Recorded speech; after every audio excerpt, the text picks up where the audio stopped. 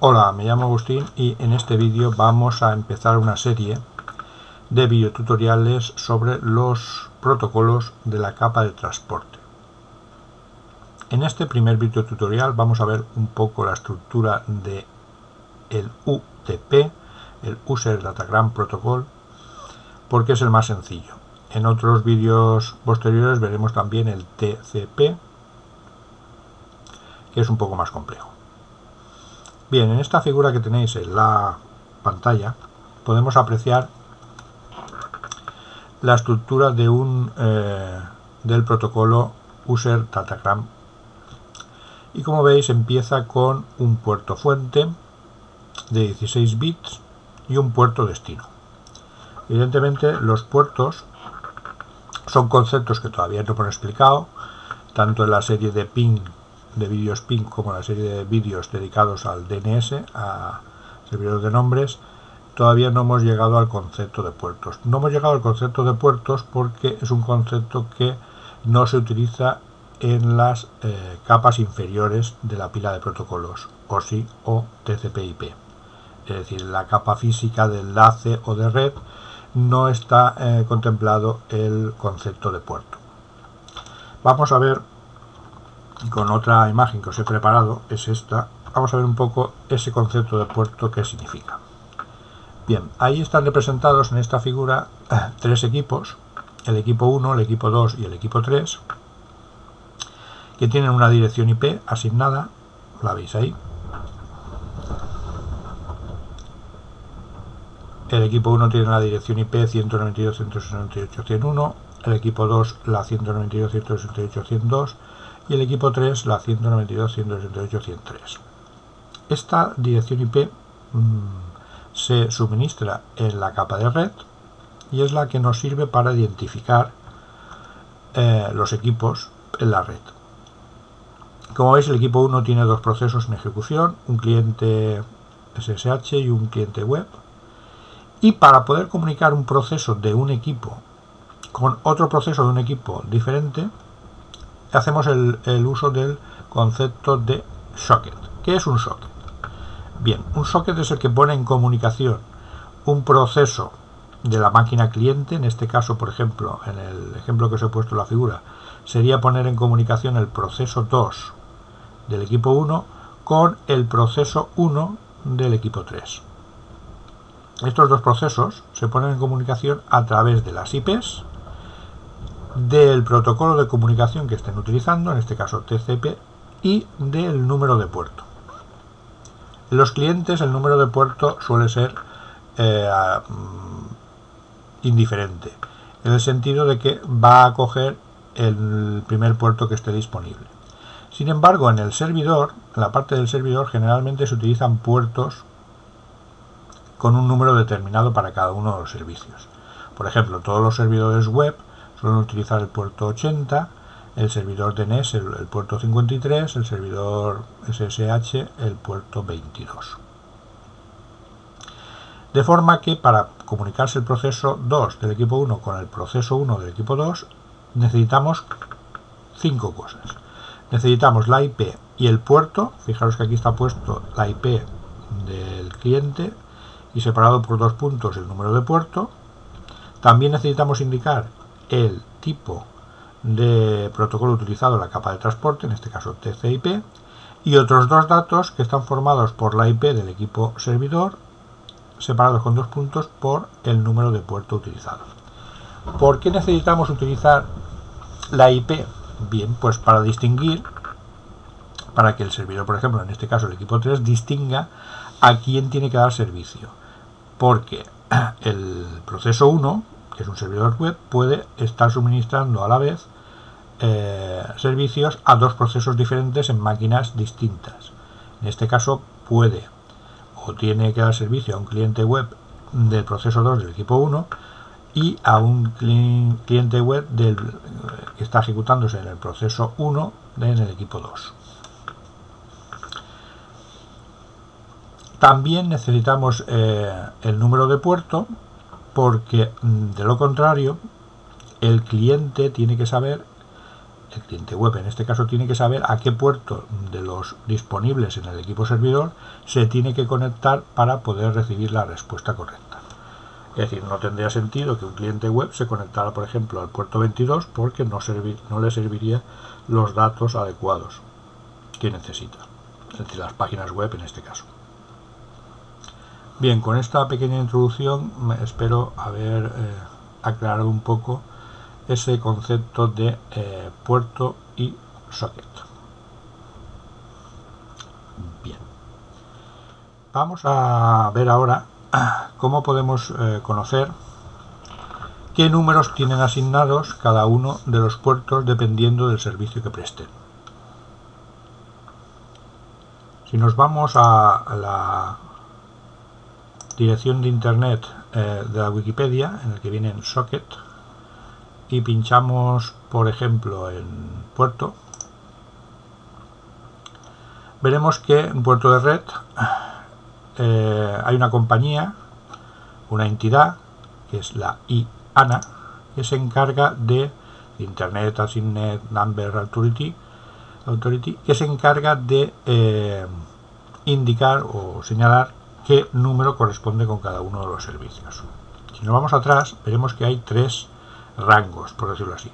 Los puertos que van desde el 0 hasta el 1023, que se corresponderán con los puertos llamados bien conocidos, en los que cada número tiene un, asignado un protocolo eh, específico, por ejemplo el 80 está asignado al servidor web, el 23 está asignado al telnet, ¿eh? y así sucesivamente cada uno de los servicios tiene un número bien asignado. Después están los puertos registrados, que están comprendidos entre el 1024 y el 49151. Los puede utilizar cualquier aplicación y existe una lista, como ahora vamos a ver, una lista pública en la web de IANA donde se puede ver el protocolo asignado a cada uno de esos números. Y después están los puertos dinámicos privados o temporales, en los que eh, se asignan de forma dinámica, es decir, se asignan para hacer cualquier tipo de comunicación, pero que no tienen un uso específico. Eh, los podemos utilizar perfectamente pues, para hacer pruebas, etcétera. También se pueden o se suelen utilizar en conexiones peer-to-peer.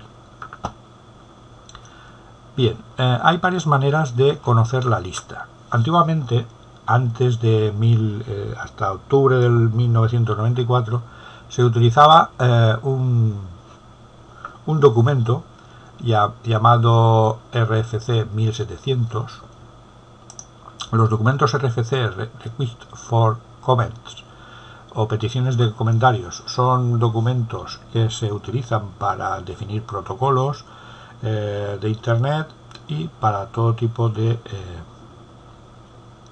ajustes en cuanto a comunicaciones. Hay un montón de ellos. El 1700 se utilizaba para ver la lista de los números correspondientes a cada uno de los puertos. Si vamos eh, hacia, hacia abajo, pues veremos que, eh, como veis por aquí, ya empiezan a aparecer números y podemos ver la correspondencia. Vamos a bajar más rápido. Por ejemplo, el número 80 que hemos comentado que se refiere a la web, si lo buscamos, el número 80 está aquí, veis que se corresponde a la World Wide Web, ¿eh? el HTTP. TTP. El 22 que hemos dicho que eh, era el que utilizaba eh, Telnet, vamos a comprobarlo. Bueno, el 22 es el SSH, me parece. Vamos a comprobarlo. Aquí está un asignado y aquí está el 23 que hemos dicho que correspondería al telnet. Fijaros que hay tanto eh, para el protocolo eh, TCP/IP, digo TCP, y para el protocolo UDP, el mismo puerto. Son diferentes. Por eso en el socket hay que indicar también qué protocolo de la capa de transporte se utiliza.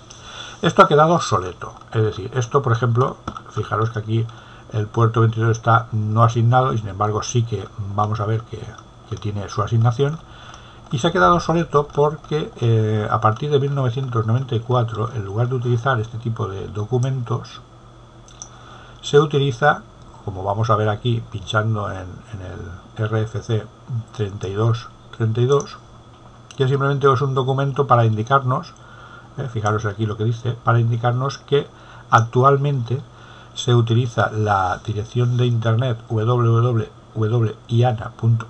que es el, el, organismo que se encarga de eh, regular este tipo de cosas, y en esa web se van a encontrar los eh, la tabla con todas las correspondencias entre el, el número y el puerto asignado, o el número de puerto asignado a cada uno de los servicios. Si pinchamos en esta en esta web, tenemos aquí, aparece la página web y tenéis que iros a el donde o en la pestaña de protocolos, protocolos. Fijaros que estamos aquí ¿eh? y www.iana.org protocols. Y ahora lo más cómodo sería eh, utilizar una, una búsqueda. Vamos a buscar ports, que es puerto en inglés. Nos vamos aquí y aquí veréis un apartado que pone port numbers, o sea, número de puerto. Pinchando en cualquiera de estos tres enlaces, ¿eh? system, nos iríamos a, yo ya lo he descargado porque es un fichero, eh, es una página web bastante larga, yo la tengo aquí ya descargada, nos iríamos a esta página en la que se ve una tabla con todas las correspondencias entre números de puerto y servicios que se prestan. Por ejemplo, hemos comentado que el 22 era un servicio SSH, lo veis aquí, ¿eh? lo tenéis aquí, tanto TCP como UDP como SCTP. El 23 es el servicio de Telnet, tanto TCP como UDP. Y también nos da información de la persona eh, responsable de este servicio, o la que lo creó, y a quién nos podemos dirigir. ¿eh? Asignado a tal, normalmente suele estar asignado a la misma persona. Bien, fijaros que hay una lista exhaustiva de todos los números de puertos, por ejemplo el 80 para la World Wide Web, eh, que fue su creador fue Tim Berners-Lee. Si pinchamos aquí, aparecerá un enlace con todos los las las las, mm, las direcciones de correo de los responsables de cada uno de los protocolos. Si pinchamos aquí, le mandaríamos directamente un un correo a la persona responsable del protocolo, en este caso a el creador de la World Wide Web, el creador de Internet, ¿eh? prácticamente reconocido por todos. Bien, pues aquí tenemos, esto sería la lista de personas que está al final del documento y fijaros que hay números que mm, van por encima del 1024. ¿eh? También eh, están registrados para ciertos servicios. Bien. Después, esto es en cuanto a, a la correspondencia número de puertos de servicio, pero también lo podemos descubrir en el sistema operativo Linux. Si nos vamos a un terminal y ponemos el siguiente orden como administrador, nos vamos a leer el documento servicios que está dentro del, directorio de configuración, que es el etcétera, etc, utilizado para todos los ficheros de configuración, para casi todos. Bien, ponemos la contraseña del administrador. Mm, claro, nos falta indicar un paginador para verlo. Y aquí tenéis todos los eh, las correspondencias entre el número de puerto y eh, cómo lo trata Linux. Coincidirá, la mayoría de las veces coincide con los números de la compañía responsable de, este, de esta asignación. Fijaros, por ejemplo, que el SSH, lo tenéis aquí, pues está en el número 22 de puerto, tanto en el protocolo TCP como UDP. Y por ejemplo la 80, eh, hemos comentado antes que era el World Web, pues lo tenéis aquí también, ¿eh? como veis, aparece aquí. Bien, esta es la lista que consulta el, sistema operativo Linux para saber eh, a, partir del número de puerto a qué servicio se está refiriendo o qué servicio tiene que dar. Bien.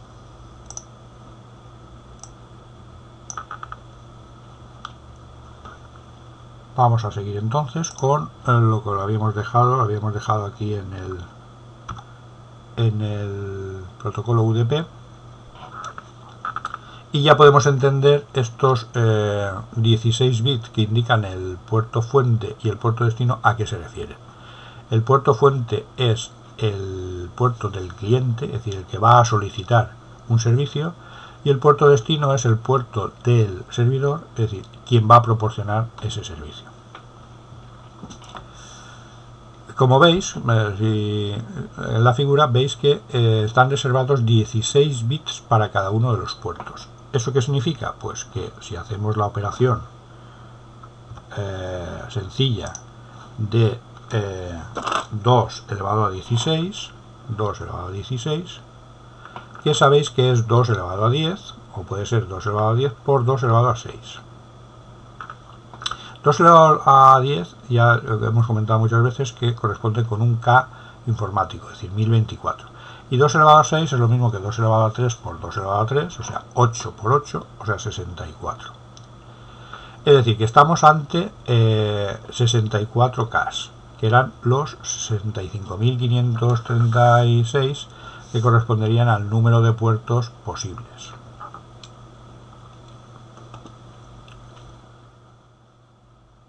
Bien, después del número de puerto, fuente y destino, bueno, comentaros también que el puerto fuente no es realmente imprescindible. Si no se proporciona el puerto fuente, eh, todos estos bits estarían en cero. Pero sí que es importante indicar el puerto destino porque tenemos que saber a qué eh, servicio nos queremos conectar. Bien, aquí tenéis una lista con mm, una serie de números que utilizan preferentemente el protocolo UDP. Hay más eh, servicios que utilizan el TCP, pero eh, estos que tenéis aquí son los característicos del servicio UDP. Pues pueden ser, por ejemplo, nombres de dominio, servidores de nombre de dominio, para resolver eh, la IP de un nombre completamente calificado. Eso lo hemos visto en los vídeos, la serie de vídeos de NS. También tenemos, por ejemplo, el, el servicio de HCP que permite eh, que un, un, host se configure automáticamente ¿eh? a través del servidor, asignándole este, pues el IP, la máscara de red y otra serie de parámetros. También tenemos un protocolo TFTP, que es un trivial eh, un protocolo trivial para transferencia de archivos parecido al FTP pero un poco más liviano y por lo tanto también pero también más inseguro. El protocolo NTP que se utiliza por ejemplo para actualizar fecha y hora a partir de un sistema más preciso. Y el servidor tiene un reloj más un reloj atómico más preciso que el de nuestro sistema y lo que hacemos nosotros es conectarnos por red y obtener la, la fecha y la hora precisa de ese sistema servidor. Incorporarla a nuestro, a nuestro equipo. También tenemos, por ejemplo, el servicio RIP, que sirve para actualizar tablas de rutas en los routers. Es un, es un protocolo bastante simple de actualización de, tablas, pero de forma dinámica eh, se van actualizando estas. Después de indicar los puertos de fuente y origen, tenemos otros 16 bits para la longitud. Este campo que representa, pues la longitud representa la longitud de la cabecera, que en este caso veis que son eh, de 32 bits o de 4 o de 8 bytes, más la longitud de los datos. De forma que en este mm, campo de longitud, como mínimo habrá 8, porque hay 8 bytes ya de cabecera, y además estarán los, eh, los bytes de datos. Como tiene 16 bits y por lo tanto tendremos hasta 65.536 como valor, bueno, 65.535 como valor más, máximo, pues a ese número máximo le tendremos que quitar la cabecera del UDP y las cabeceras de los eh, protocolos de capas inferiores para conocer el número de datos máximo que podemos o que se puede admitir con el protocolo UDP. Después de la longitud tenemos lo que se llama suma de control. La suma de control es un poco más complicada de obtener de la que obtuvimos en los protocolos anteriores, los que vimos en la serie de vídeos PING. ¿Por qué es un poco más complicada? Porque la suma de control, eh, en este caso en el, protocolo UDP, tiene en cuenta tanto datos de esta capa, es decir, de la capa de transporte, como datos que le vienen de la capa inferior, de la capa IP o la capa de red. Esto eh, puede ser un, es, un inconveniente porque eh, no es autocontenido este protocolo, sino que necesita datos de capas inferiores. Bien, ¿qué datos eh, tiene en cuenta para calcular la suma de control? Pues tiene en cuenta la cabecera UDP, que son estos 8 bytes. Evidentemente la suma de control para, el cálculo estará colocada en todos ceros. Después están los datos del protocolo UDP y también una pseudo cabecera con datos de la capa inferior, o sea, la capa de red, en la que, tiene, en la que intervienen las direcciones IP del origen y del destino, en el caso de la versión 4 serían 4 bytes por cada el, el número del protocolo en el caso de los protocolos UDP es el 0011 es decir el 17 en decimal y la longitud de los datos UDP es decir, el campo longitud se repite dos veces para el cálculo de la, eh, de la suma de control. En cuanto al número de protocolos, si queremos conocer eh, los números de protocolos mm, para los diferentes protocolos que existen, eh, tenemos varias opciones. La primera opción y la más cómoda quizá sea la de irnos directamente al, al siguiente fichero. El fichero, vamos a poner el paginador, no se nos olvide, tenemos etcétera y protocolos. Eh, volvemos a dar la contraseña y aquí tenemos eh, los números para cada uno de los protocolos en realidad nosotros en esta serie de vídeos solamente nos vamos a detener en dos protocolos el TCP/IP que tiene el número 6 como veis aquí y el UDP que ya hemos comentado que tenía el, 17 o sea 11 en esa decimal lo tenéis aquí el resto de numeritos eh, los tenéis perfectamente identificados en esta tabla Bien. Y yo creo que con esto para el primer vídeo eh, ya es suficiente. En el siguiente vídeo os explicaré más detalladamente este UDP haciendo una práctica o una, una, una práctica podríamos llamarla utilizando las máquinas virtuales eh, VirtualBox y el programa Wireshark que nos permite identificar eh, los datos reales de los protocolos y si nos da tiempo pues realizaremos el, cálculo de la suma de control para que comprobéis que efectivamente se tienen en cuenta estos datos que hemos comentado en este vídeo. Bien, os espero entonces en el segundo video tutorial.